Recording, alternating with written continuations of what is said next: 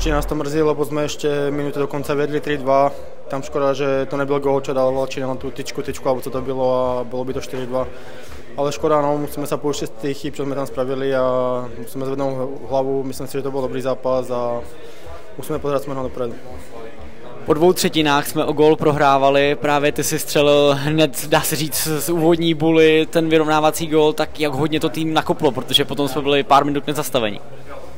Tak my jsme něco povedali v kabině po druhé třetině, že musíme něco změnit a dnes mě to tam nahrál ich back a mě se tam potom nějak šťastně odrazilo do prázdné brány a byli jsme za to rádi, že jsme dali ten gól a myslím si, že nás to nakoplo, potom jsme dali za pěti další gól, takže myslím si, že to bylo dost důležité narvaný tribuny, skvělá atmosféra. Vzniklo tady něco jako takový hokejový El Clásico mezi Spartou a Pardubicema?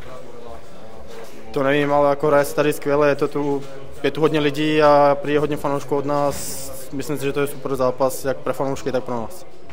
Měli jsme zase nějaký přesilový hry, zase tam máme tlak, ale chybí tomu asi jen ten gol. Tak já si myslím, že to stačí iba zlomit. Jako šance tam nějaké jsou, střely tam jsou, stačí, aby se na to tam odrazilo a se to zlomí a už to půjde.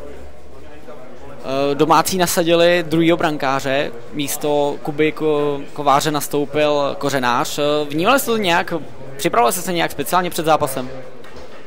My máme jako před každým zápasem eh, na každého brankára něco, ale já se na to nepozerám, prostě pozerám, kde co je volného a buď vystřelím nebo nahrám, ale nepozerám na to nějak speciálně. Developerská společnost D plus D Real. Generální partner HC Dynamo Pardubice.